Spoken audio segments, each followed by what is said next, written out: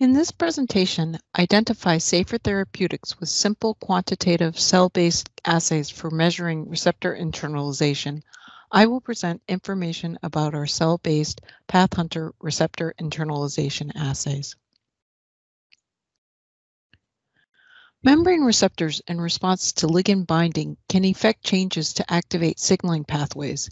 In this example, a GPCR receptor binds a ligand that activates the signaling pathway. But in addition, ligand binding can also have effects on receptor internalization that may have important ramifications on the cellular response from receptor signaling.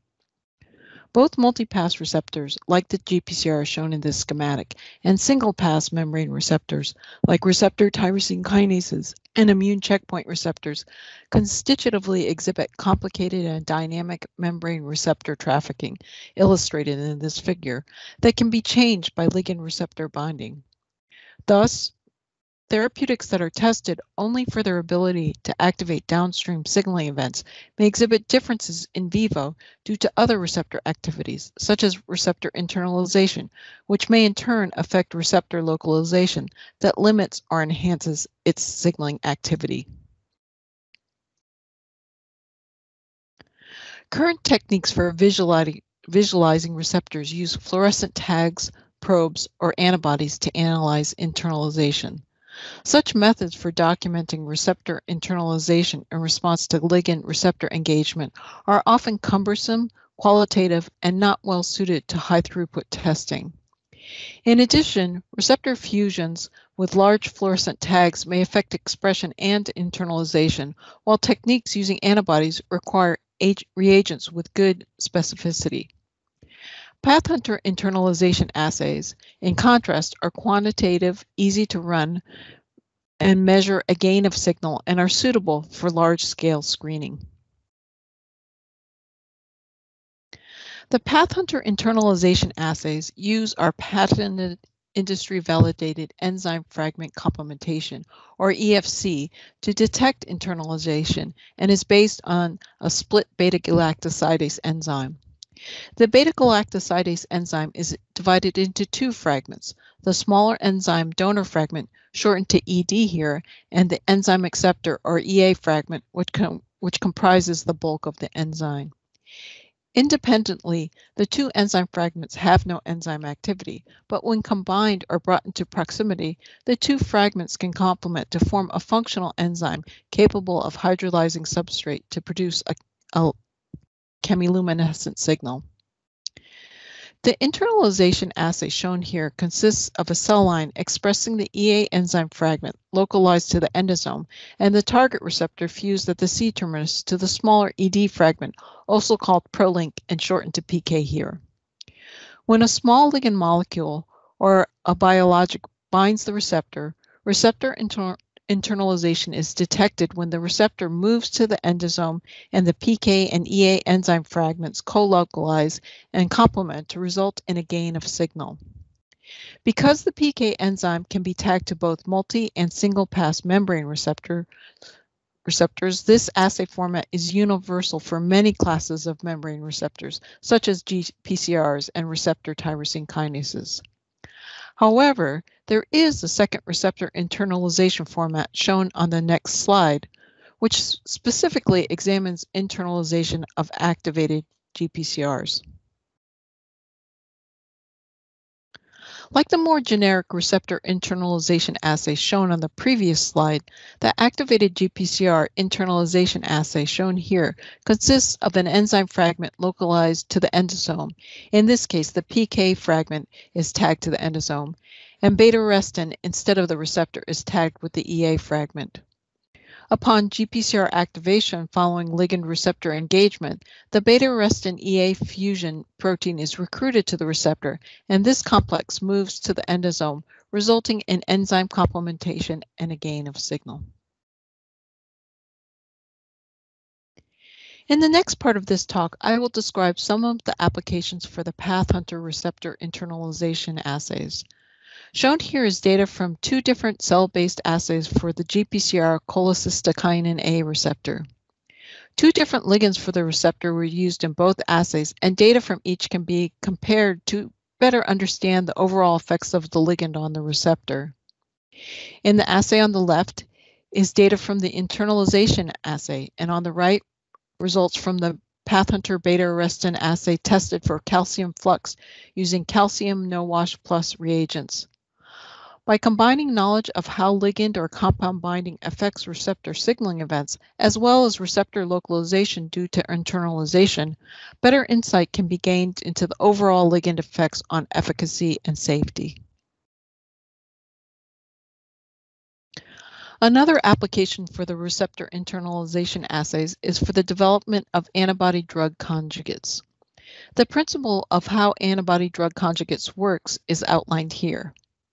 Antibodies for receptors targeted to specific cells are conjugated to cytotoxins, which are internalized and release the cytotoxin to kill the cell. ADCs are being developed as cancer treatments to specifically target and kill tumor cells. PathHunter internalization assays can be used to characterize antibodies targeted for receptors, such as immuno-oncology checkpoint receptors, for their ability to activate receptor internalization. Antibodies identified as inducing high levels of internalization may serve as lead candidates for conjugation to cytotoxic compounds. Many ADCs are already in various phases of clinical trials for the treatment of cancer, and this is an active area of drug development. Here is another example of how results from both receptor signaling assays can be combined with those from receptor internalization to give a greater understanding of receptor mode of action. Four human delta opioid receptor agonists were characterized for their activation of receptor internalization on the left and for inhibition of forskolin stimulated cyclic AMP accumulation on the right. Cells overexpressing the human delta opioid receptor in the PathHunter activated GPCR internalization and cAMP Hunter for assay formats were treated with four known agonists and assayed using PathHunter and HitHunter detection reagents, respectively. For both assays, data for MET5 enkephalin was normalized to 1 for potency and to 100% for efficacy. Despite similar compound potencies and efficacies for all four ligands based on the inhibition of cyclic AMP accumulation in the results on the right, SNC80, which is known as a strongly internalizing compound and functional antagonist, is clearly defined as a superagonist in this internalization assay. The superagonist effect suggests that SNC80 may lead to higher levels of internalized receptor and subsequently lower levels of receptor reserve, and thus behave as a functional antagonist. Presented here are data from two of the internalization assays for single pass receptor tyrosine kinases. In the panel on the left, increasing concentrations of insulin result in greater amounts of insulin receptor B receptor internalization. On the right, ERBB2 exhibits greater amounts of receptor internalization to the endosome when incubated with greater concentrations of a combination of two ERBB2 antibodies, one of which is trastuzumab, sold as Herceptin by Genentech. Robust internalization is also observed when Herceptin is used in combination with another therapeutic ERBB2 antibody, Perjeta, also sold by Genentech. This slide shows two internalization assays developed for immune checkpoint receptors. The CD33 internalization receptor assay shown on the left was tested with a commercial antibody to CD33. CD33 antibody was pre-incubated with a secondary antibody to cluster the CD33 receptor and then added to cells to monitor internalization. With higher cross-linked antibody concentrations, greater amounts of PK tag CD33 complemented EA tagged protein localized to the endosome. endosome. A number of ADCs have are already been developed for CD33, and some are currently in clinical trials for the treatment of acute myeloid leukemia. In the results shown on the right, B cell maturation antigen or BCMA receptor internalization was activated with a commercial BCMA antibody. Several BCMA ADCs are in development as therapeutics for multiple myeloma.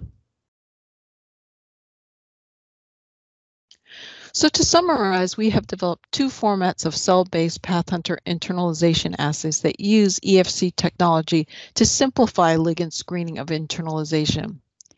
These assays provide quantitative results appropriate for high throughput screening. One of the assays is a more generic format for receptor internalization and applicable to both single pass membrane receptors such as RTKs and checkpoint receptors, as well as multi-pass GPCR receptors.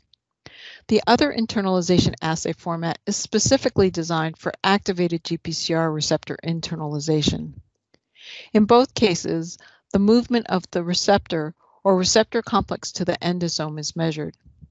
These receptor internalization assays can be run in parallel with the many other PathHunter assays we offer that measure receptor signaling to give a more comprehensive understanding of what happens after a ligand binds a membrane receptor, as well as direct applications for development of therapeutics such as ADCs that take advantage of antibodies that activate high levels of receptor internalization in order to deliver their cytotoxic drugs effectively and with specificity. The extensive menu we offer for GPCR assays for internalization and arrestin and second messenger formats is shown on this slide and represents only a selection of our total offering for GPCRs. Finally, listed here are some of the advantages of our PathHunter receptor internalization assays. The use of the EFC system in the assays enables an easy and homogeneous assay format that yields rapid results with good sensitivity and robust responses. The assays are also amenable to high throughput screening for drug discovery. The results yielded from internalization also complement data from other cell-based assays that address more functional aspects of the same receptor with the same ligands. Thank you for taking the time to learn more about our receptor internalization assays, and I encourage you to visit our website for more information about our cell-based PathHunter receptor internalization assays.